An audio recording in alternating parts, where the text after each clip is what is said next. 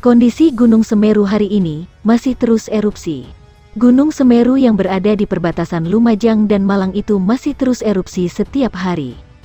Laporan itu disampaikan oleh petugas pos pengamatan Gunung Api Semeru di Gunung Sawur. Dia mencatat terekam 24 kali letusan erupsi dengan amplitudo 10 sampai 25 mm dan lama gempa 58 sampai 193 detik untuk periode pengamatan.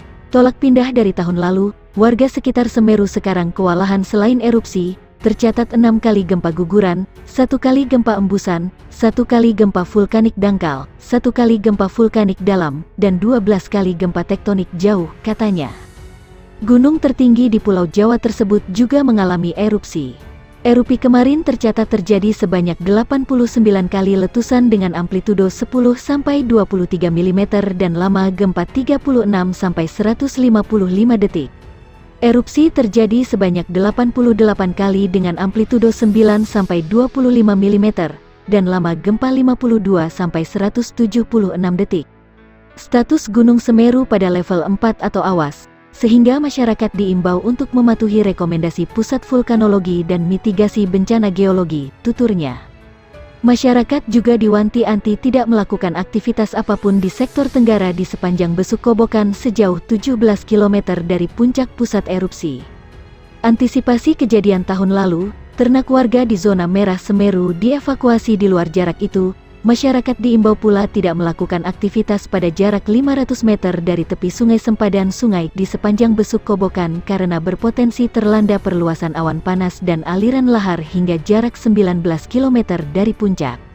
Kami juga imbau masyarakat tidak beraktivitas dalam radius 8 km dari kawah puncak Gunung Api Semeru karena rawan terhadap bahaya lontaran batu pijar, ujarnya. Masyarakat juga diminta mewaspadai potensi awan panas guguran APG, guguran lava, dan lahar di sepanjang aliran sungai lembah yang berhulu di puncak Gunung Api Semeru. Hal itu terutama di sepanjang Besuk Kobokan, Besuk Bang, Besuk Kembar, dan Besuk Sat serta potensi lahar pada sungai-sungai kecil yang merupakan anak sungai dari Besuk Kobokan. Penampakan Mahameru keluarkan gugurkan lava pijar sejauh 500 meter. Gunung Semeru pagi ini kembali erupsi sekitar pukul 5.21 waktu Indonesia Barat. Tinggi letusan teramati kurang lebih 300 meter di atas puncak 3976 meter di atas permukaan laut. Gunung Semeru masih berstatus level 4 atau awas, sebelum erupsi.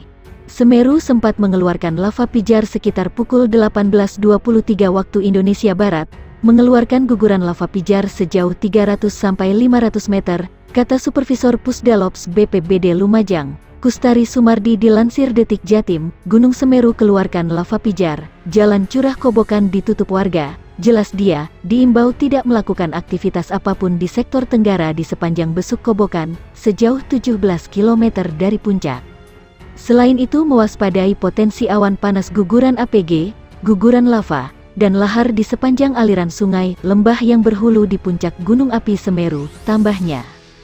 Gunung Semeru masih erupsi pukul 5 lewat 2 waktu Indonesia Barat, kali ini teramati mengeluarkan abu sejauh kurang lebih 400 meter di atas puncak kurang lebih 4076 meter di atas permukaan laut, kolom abu teramati berwarna putih hingga kelabu dengan intensitas sedang hingga tebal ke arah selatan dan barat daya.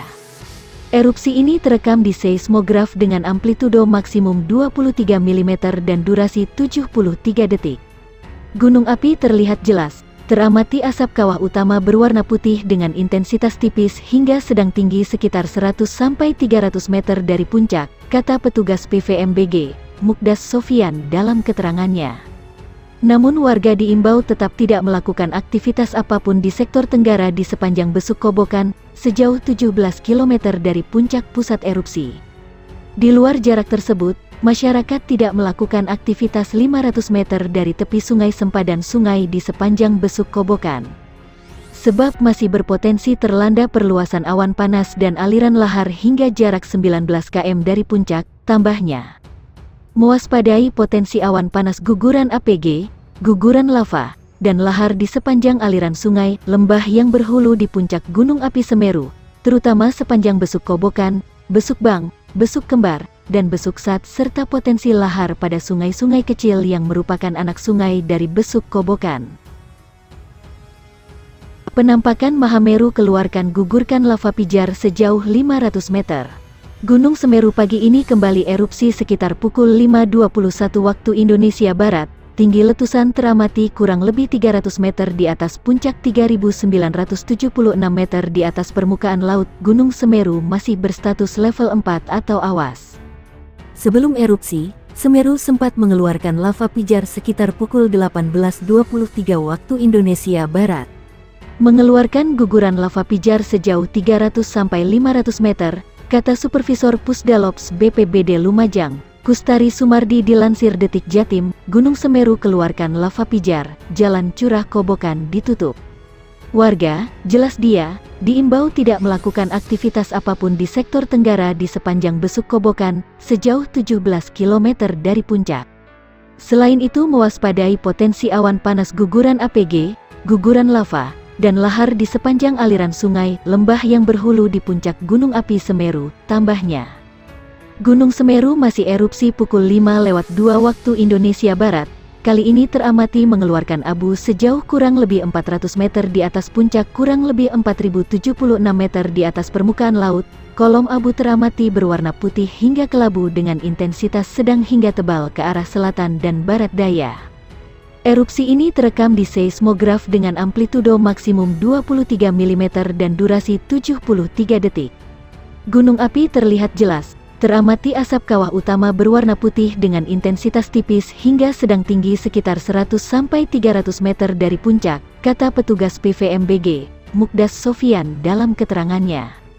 Namun warga diimbau tetap tidak melakukan aktivitas apa pun di sektor tenggara di sepanjang besuk kobokan, sejauh 17 km dari puncak pusat erupsi.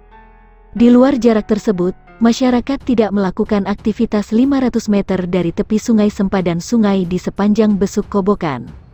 Sebab masih berpotensi terlanda perluasan awan panas dan aliran lahar hingga jarak 19 km dari puncak, tambahnya.